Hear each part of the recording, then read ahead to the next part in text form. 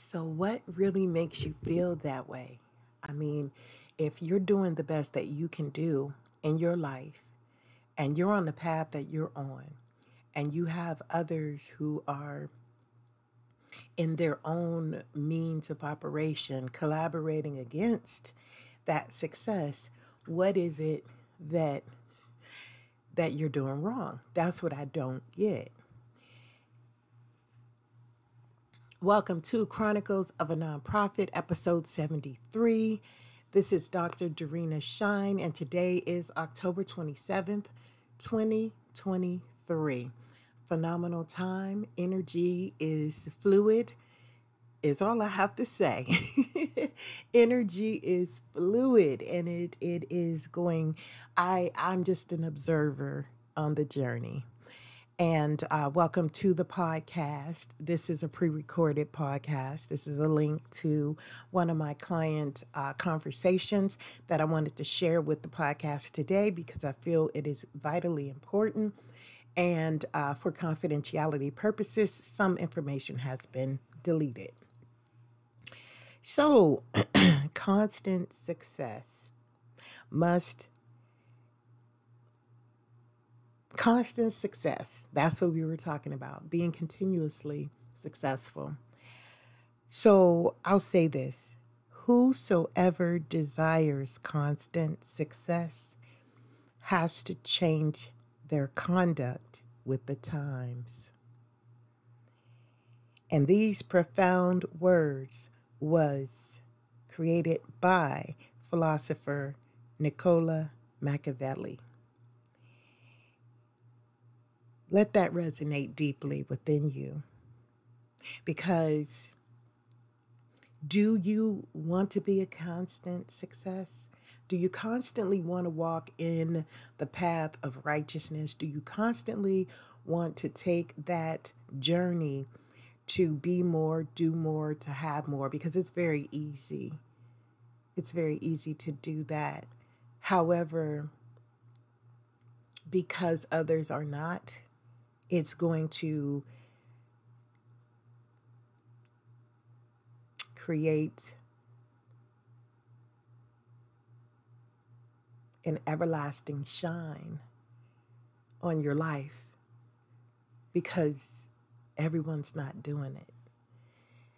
You know, many people want to skim to get by, they want to manipulate to get by, they want to just do the bare minimum and then others have no idea what's happening. So it's okay. It's all right. Whatever you want to do, you have the ability to do that. Ooh. Being able to adapt and evolve and change through circumstances and how they come at you and being calm in the situation and not taking things personal in the situation.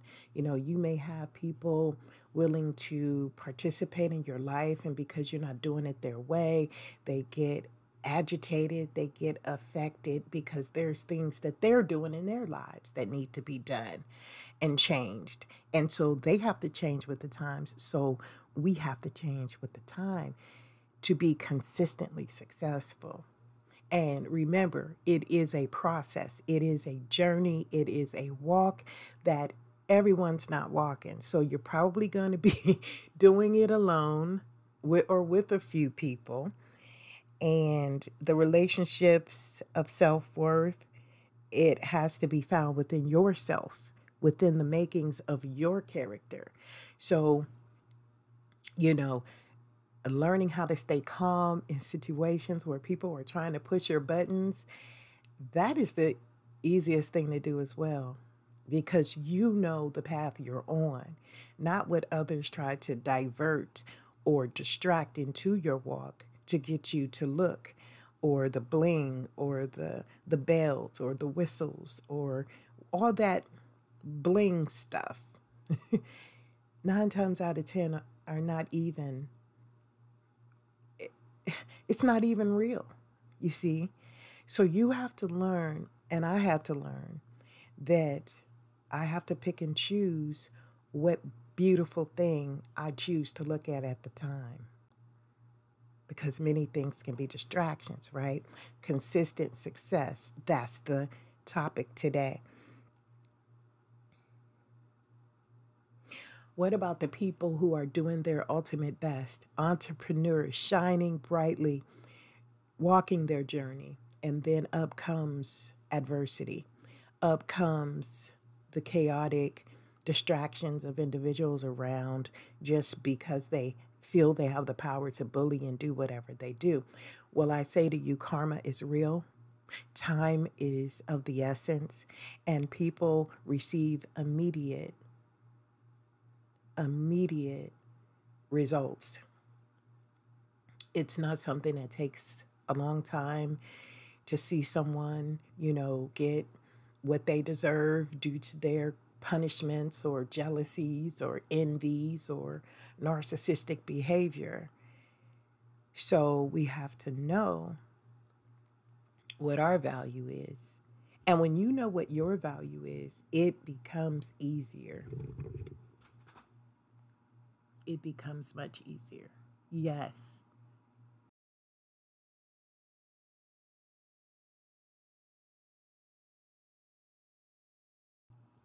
So, this journey that you're taking on continuous success is going to validate who your friends really are. It's going to tell why people are coming in your lives. It's going to show you how people are leaving your lives. And this is the eclipse time. This is the time where you got real close friends that are going to eventually break up. People are going to, you know, lose jobs. People are going to step out on new careers. And it's all because it's that time, it's that energy and nothing lasts always.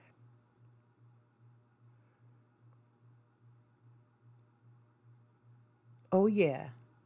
So you better, yes, that is good. You, you know, uh, as we're talking, um, I just clipped out the concept of valuing who you are.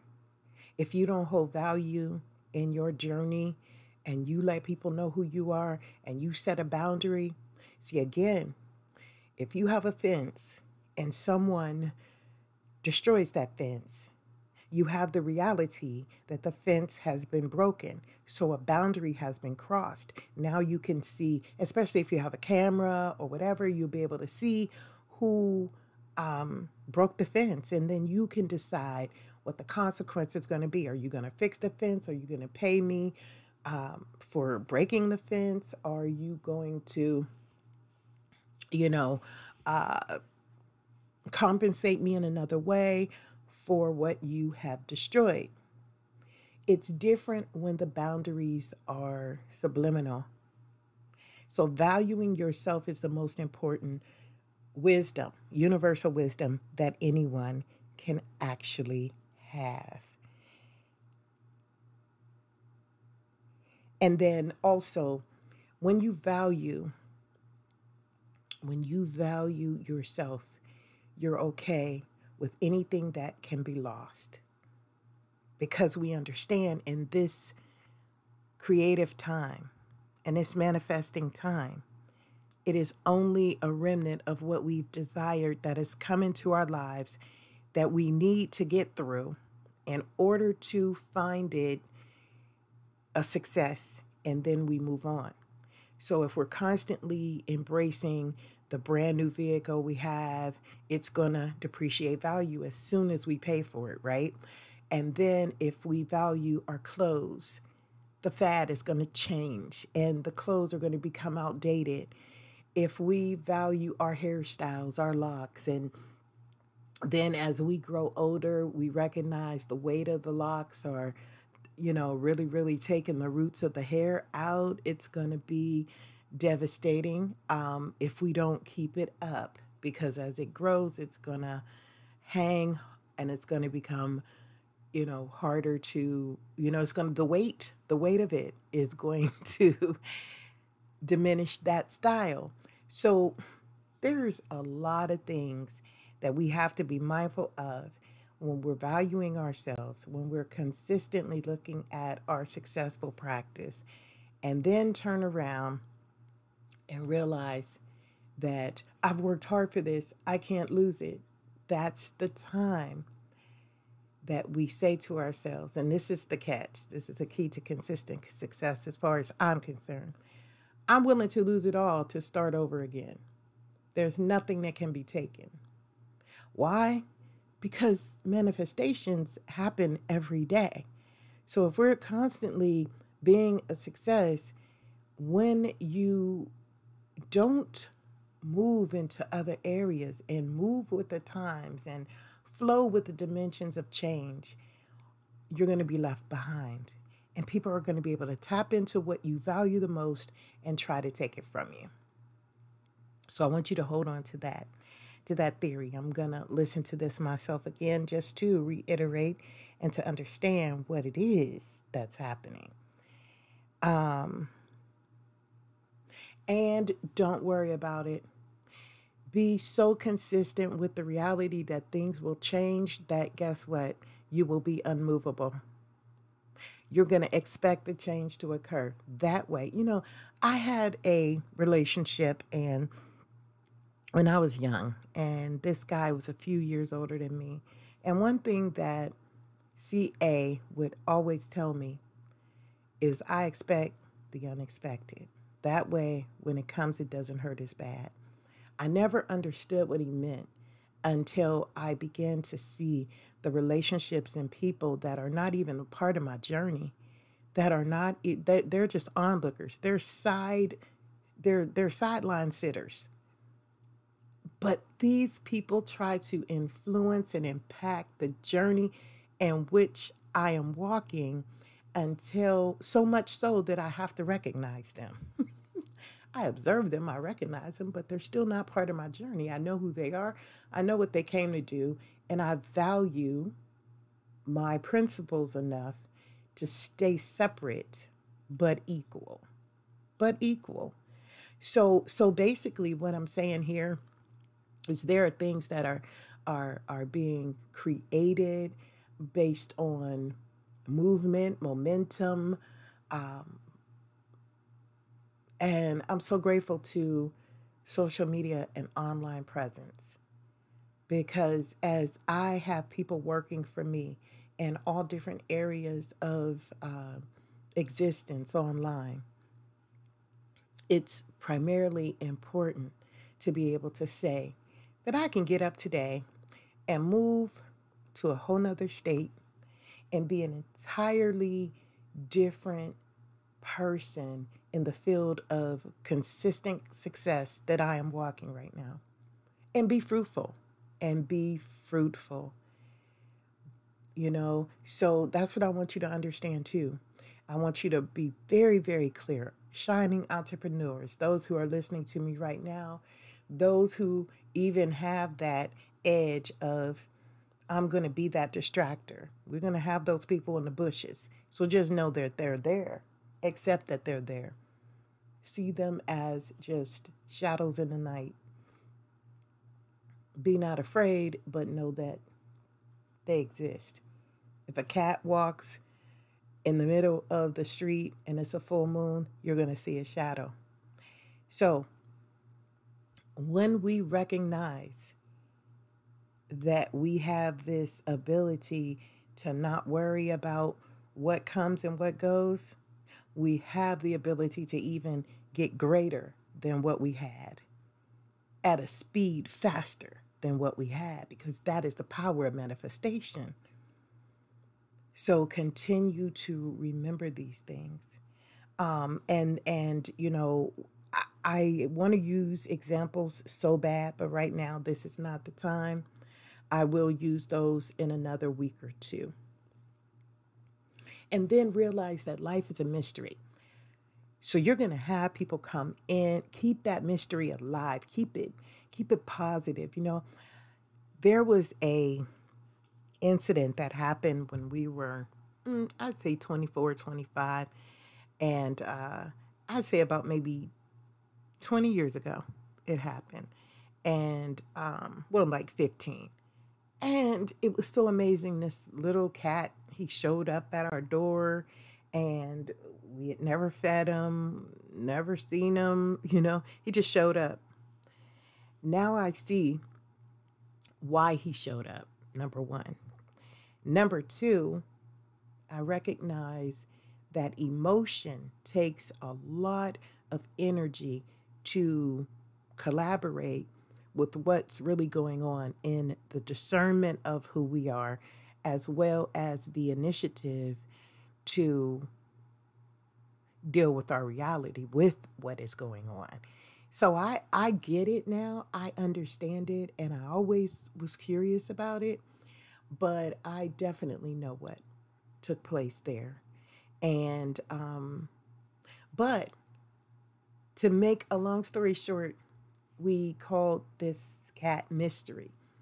And from the day he walked into our lives until the day he left, he was a consistent mystery. So I thank all positive beings for protecting, being part of that process, and actually acclimating the mystery in our lives because we have to do that to be consistently successful. We have to see what is going on, and it has to be a discernment that just makes sense. And that includes people we meet, why we go through the chaos that we go through with them, the etching of next level rise up entrepreneurs is the key to that. And being calm is the lock. And I'm I'm learning that.